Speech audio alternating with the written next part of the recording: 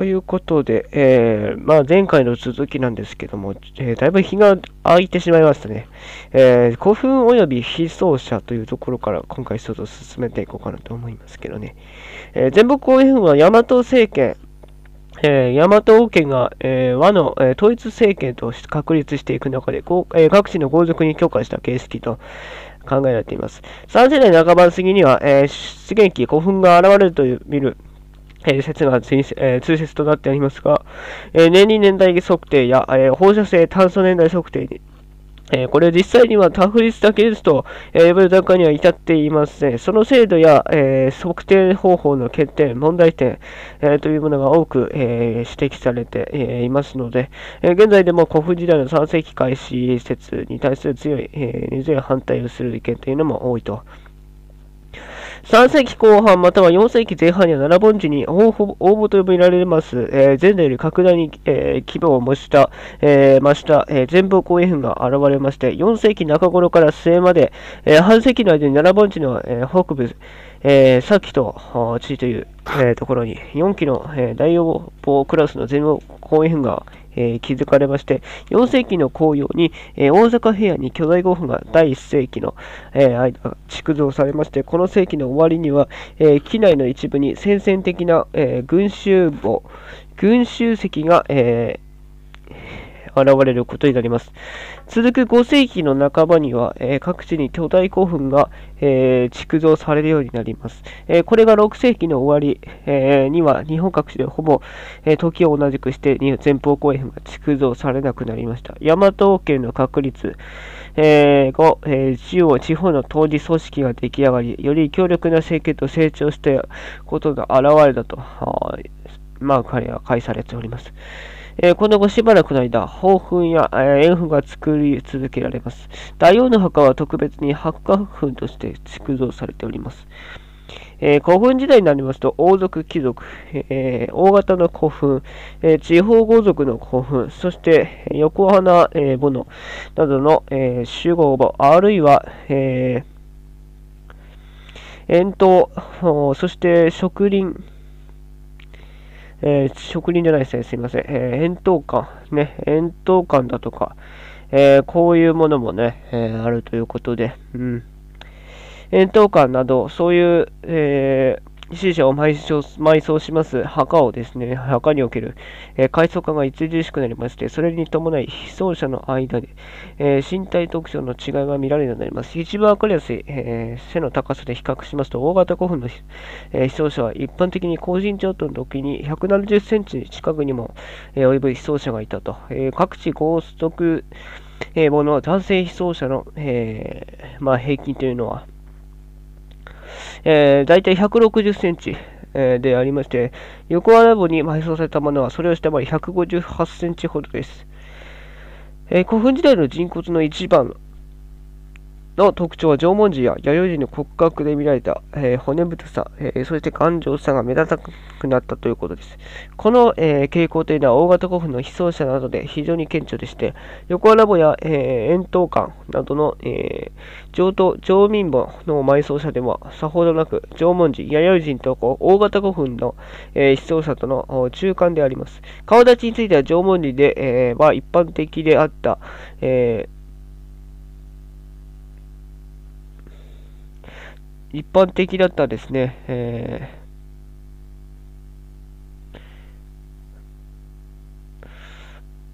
ー、一般的だった、えー、まものなんですけども、これが全体の大体70%、えー、ほどなんですね。えー、で、この顔立ちというのが、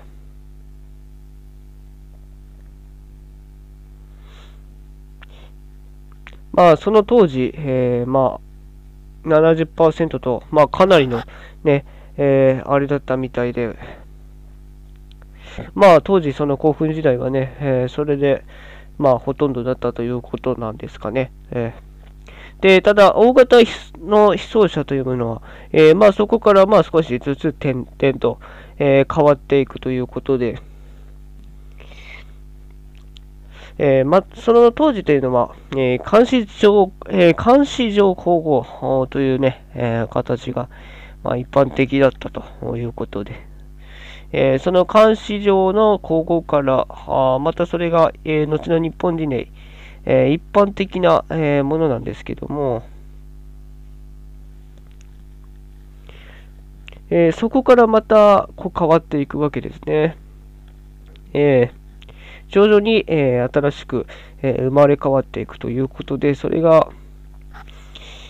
えー、ハサミ状の、えー、交互ということで、えー、それが日本人に、え、まあ、よく見られるようになっていくと。下顎のエラの部分というのは、え前ほどにくぼみ、えが多く、えなりまして、え見られるようになりまして、え顎の先が細く、え尖り気味の、ええ尖り気味の、え下顎の骨、えこれね、えー、下骸骨、ね、えー、となるわけですけども、うん。あとはですね、第3の、えー、親知らず、ね、親知らずなど、こういった大臼歯ですね、えー、これなどがあ,、まあ、あるということでございますけども。はい。えー、そしてこれが、えー、まあ、出ない、えー、出土しない、えものの割合が多くなっていきます。これらの下骸骨、え下顎の、え骨ですとかね、えまあ、これらというのは、えあ多くなっていくと。まあ、これらの、まあ、骨が細くなっていく。えー、そして、まあ、体縮減少に伴う、えー、顔の顔面の骨の変化というのは、えー、生活様式の変化、え特に食物の硬さ、うん、これらは、え現じたということで、え気にすると。また、海藻により生活レベルの違いが大きくなり、海藻線が目立つようになったと考えられているということです。え古墳時代の前期と、いうことで、まあ、古墳時代は、えいくつかの地域に分けられるというのは前に話したことだということなんですけど、えー、初期の大和政権はもともと地域国家だったということで、えー、大和政権というのは、まあ、その名の通り、えー、まあ、朝廷というのね、えその、和の国王というところで、この邪馬台国とかはね、え卑弥呼というのが、え、弥生時代の末期からこう、え現れるわけですけども、その機内をえー、本拠地とする大和政権というのが、えー、前期に成立したと、えー、言われていますけども、えどのように、え確立したのか、あるいはいつ頃からあ出たのかっていうのは、えこれがはっきりしていません。えー、大和政権と邪馬台国って、なんかね、えー、なんか同じような、あね、えー、まあ似てるね、えー感じはしますけども、読み方もね、えー、ほぼ似てるんですけども、これはまた別物と捉えられて、えー、いるという説ですね。えー、まあ、異なる勢力とみなすという説があるということで、まあ多分違うんだろうなとは思います。えー、考古学の性格というのは、成果というのは、七本地勢力が、えー、列島各地の豪族勢力と連合し、大和王権へ、えー、次第に成長していき、この過程で北部九州の勢力は衰退していったことを指針して,、えー、しております。えー、ただし北部九州の勢力が奈良盆地への当選の、えー、後、奈良盆地勢力を制圧して大和王権となったという、えー、見方もあります。大和王権の成立後、えー、事前よりも格段に大きな墓、えー、全部公営軍が、奈良盆地を中心に、えー、登場しています。弥生時代末期には機内、えー、吉備、出雲、つくしなど、えー、各地域に特色のある法制が、えー、展開していましたが、えー、全部公園府には、えー、それら、えー、各地域の特色が融合された様子が見られるため、大和王権は列島各地の各地域の政治勢力が連合したことによって成立したというふうに、えー、見られております。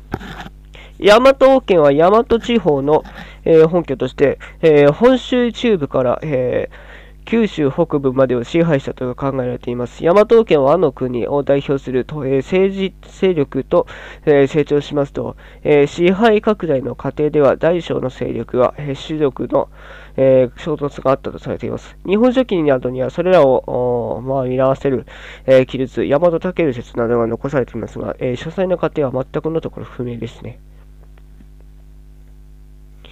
えー、古墳時代には4世紀には全く何も書かれていない、えー、わけでございますけど、えー、西暦266年から413年にかけまして、えー、これは中歴史の文献ですね、真の歴史の文献におけまるおけます和の、え国の記述がなく、調整を把握することができないため、この間っていうのは空白空白の4世紀とも言われております。えー、なんともわからないという時期なんですけどね。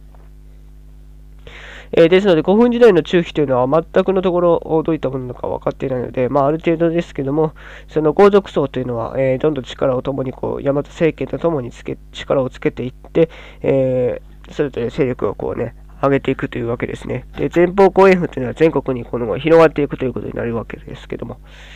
まあ、あまり東日本では前方後円墳とかっていうのはあまり見られないですね。えー豊墳とかね、えー、四角いやつとか、あとは丸いやつだったらね、えー、まあ見たことありますけど、前方後円墳っていうのは、まあ主に、えー、近畿地方とかにはよく広がってるんですけど、あまり東日本ではあまり見ないような気がしますね。えー、和の豪王時代ということで、5世紀半ば、5世紀初めの413年、えー、に、えー、和の国が、えー、その担ぎ物をですね、献じたことというのが、えー、真の書物、えー、これに、えー、記されています。421年、総書、え、和の国伝に、え、和を称えるというですね、え、こういう記事が見られます。え、これが和の、え、王に対するます、え、記事というのが中国書に散見されるようになりまして、えー、鎮西、公、武とこう続いています。これが和の国、えーの5ということになるわけですね。えー、3以下、えー、陳、え在、えー、後部と、こう続いているということで、えー、和の国には、えー、5つのですね、これがいたということなんですけども、えー、あのー、多分おそらくですけども、和の五王のこの一つというのは、まあおそらく、えー、日本書紀で言うと、まあおそらく天皇であるというのはあ間違いなくて、えー、この3以下、えー、鎮西後部というのは、おそらく、まあ、当時のあれからいくと、まあ、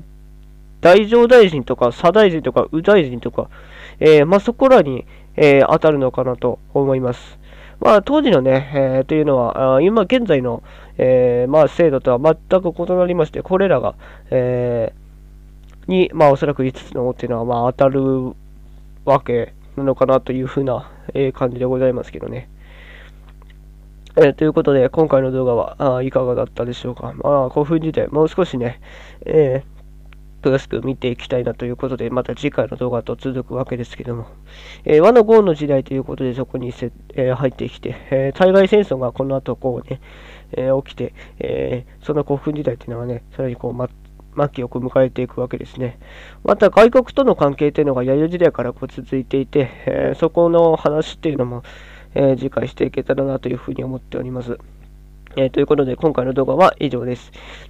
本日も最後まで皆様ご視聴していただきありがとうございました。ぜひまた次回の動画でまたお会いしましょ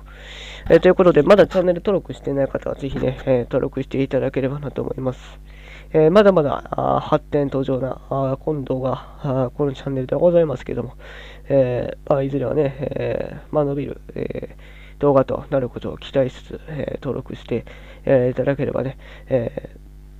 またあれかなと思いますね。ねはい、ということで本日はご視聴最後までありがとうございました。次回の動画でお会いしましょう。それでは失礼いたします。